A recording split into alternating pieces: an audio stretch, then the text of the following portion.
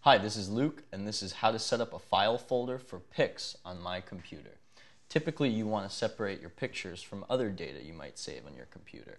So the first thing we're going to do is create a new folder. You can right-click, go to New, and then Folder. I'm going to name it My Pics. And then the next thing you're going to do is right-click on the folder, go to Properties, Customize at the top tab, and then optimize this folder for and select Pictures. Then you're going to want to hit Apply at the bottom and OK. And that's it.